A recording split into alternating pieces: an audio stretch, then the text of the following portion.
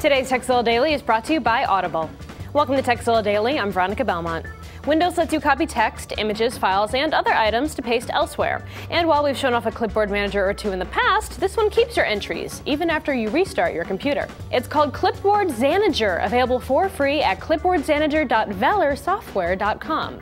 Once installed, you can just use your copy and paste tools as normal, or you can press Ctrl-Shift-V to launch the list of recently copied items.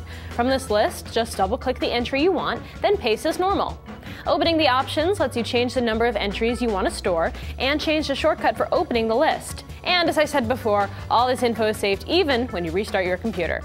So make sure you never lose track of a copied email address or photo again with Clipboard Zanager. Now, if you have a tip you'd like to share with the world, let us know. Email us at tekzilla at revision3.com. And don't forget tekzilla.com. It's the place to find more tips, tricks, product reviews, and how-tos. Audible.com is the leading provider of downloadable digital audiobooks and spoken word entertainment. Audible has over 100,000 titles to choose from to be downloaded to your iPod or MP3 player and played back anywhere, anytime. Choose from books in every genre science fiction, thrillers, drama, comedy, business, history, and more.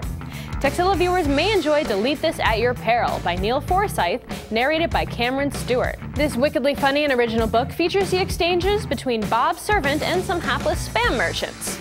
Even better, you can get it for free. Just go to audiblepodcast.com slash Tekzilla and you'll get a free audiobook download of your choice when you sign up today.